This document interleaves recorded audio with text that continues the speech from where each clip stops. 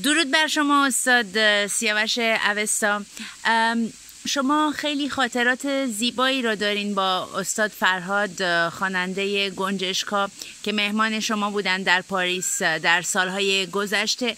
اگر می شود لطفا کمی از این خاطرات را برای ما در میون بذاریم مشین گنجشکا که اشی مشین روی بوم ما مشین. آره فرهاد عزیزی و من با مهر دوست عزیزم علی آبادانی که الان مدتی ازش بیخبرم نمی‌دونم علی جان کجاست. علی آبادانی سردبیر مجله خوب رنگارنگ که در اروپا منتشر می‌کرد. در آلمان چون یک رنگارنگ دیگه هم هست که در لندن منتشر میشه. علی آبادانی رنگارنگ رو در آلمان منتشر می‌کرد. یکی از ژورنالیست بسیار خوب ما بود. مهرورزی کرد و من وقتی شنیدم که فرهاد آلمان است. گفتم بیارش پاریس. با هم صحبت کردیم که براش برنامه در پاریس بذاره وقتی اومد پاریس فرهاد با اینکه خب با همه هنرمندا برای برگزاری جشن ملی میهنی من همکاری داشتم تا این سالها ولی واقعا حضور فرهاد یک حضور تاریخی بود در زندگی من.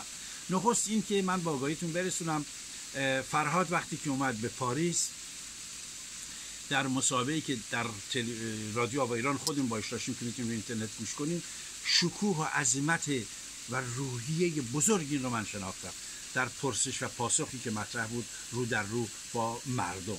بعد از اون شب برنامه وقتی می‌خواست برنامه رو اجرا بکنه من برام خیلی تعجب آور بود.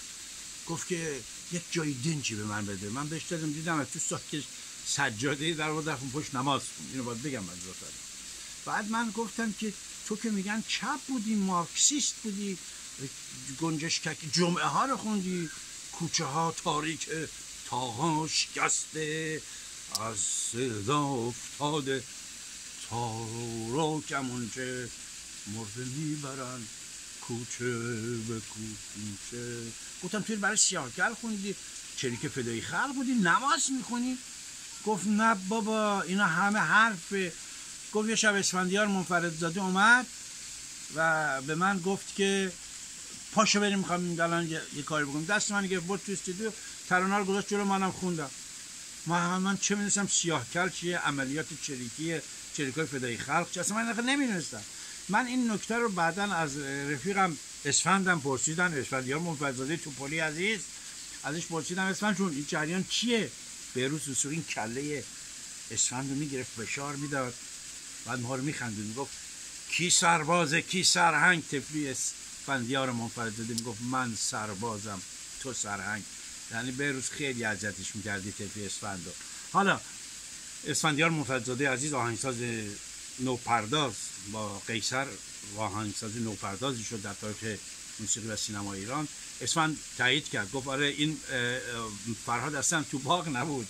ما دست گرفتیم بردیم میشه در نکته دیگه این که من همیشه وقتی برنامه تموم می‌شد به بچه می‌گفتم بریم با هم 20 نفر یک رستوران بشینیم غذا بخوریم. چه غذایی دوست دارید؟ فرانسوی نمی‌دونم لبنانی چه چه. به فراد تموم شد گفتم بریم غذا بخوریم. گفت غذا نمی‌خواد که. گفتم خب فراد خسته دیگه برنامه. کمی فکر کردم گفت پس یه رستورانی که من خودم میگم باید منو ببر ما هم گفتیم حتما خود یه رستوران گرونی بگه دیگه به درک. گفتیم باشه فراد هر چه تو گفتی گفت بریم. یک مکدونالد منو ببر. گفتم چی؟ اون مکدونالد دوست دارم بابا. حالا ما 20 نفرم بودیم اون بقیه که خب منو میشناختن بچه‌ای که تیم گروه ما همه بردیم در مکدونالدی بود در میدان شارل اکتوال پاریس. میز بزرگ با فرهاد عزیز خوردیم. روز که می‌خواست بره ایران اومد دفتر شانزلیزه من و اونجا کتاب قرآن سروده به سبک پارسی رو من بهش داده بودم که بخونه همونجا ایران نبره. گفتم نبره اینو ایران. گفت اجوری گرفت گفت یه عکسم بگیر. یه عکسم گرفتم. گفت من اینو می‌برم ایران. و برد ایران. یه کار بزرگ دیگه که فرهاد کرد. من تا آخر عمرم فراموش نمی‌کنم. اینه که وقتی می‌خواست بره گفت ببین من یک عمر خوانندم یک عمر تو کاباره و کنسرت اجرا کردم و اینا.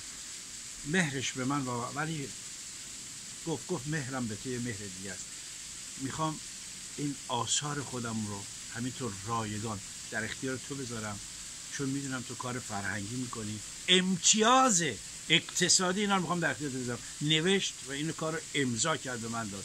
ولی فرهاد رفته ما هم هستیم. تا الان من نه تنها یک قرون از این و یک دینار یک دلار یک شاهین نگرفتم از کسی.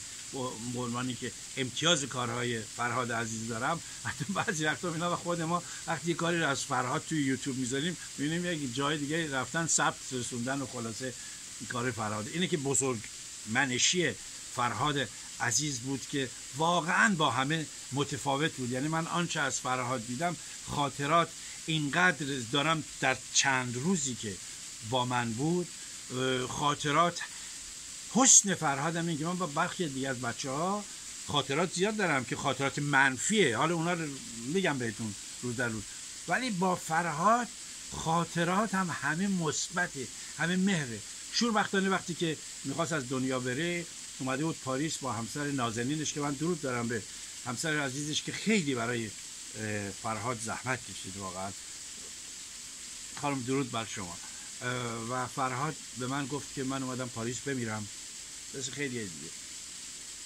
که پیکر من سوزانده بشه سیاوش عبستان همونی که نماز میخون. وصیتم کرده بود که این کار بشه. خانمش هم قبول کرده بود. ما قرار بود همون روز بعدش ساعت دوی بعد از ظهر در پرلاشز این کار بکنیم. اسفندیار منفضل سوید اومده بود تو دفتر من نشسته بود. گفتیم ساعت دوازده از دفتر حرکت کنیم بریم پرلاشز گفت باش.